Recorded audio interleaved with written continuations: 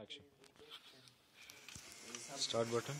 Yeah, we press the start button first. When we press the start button here, then the motors, the crusher motors running and the conveyor motors running and it's uh, filling the silo, our silo. When our silo is filled, then the proximity sensor will actuate it. When it is actuated, it's turn off the crusher motors. After five seconds, it will stop the conveyor.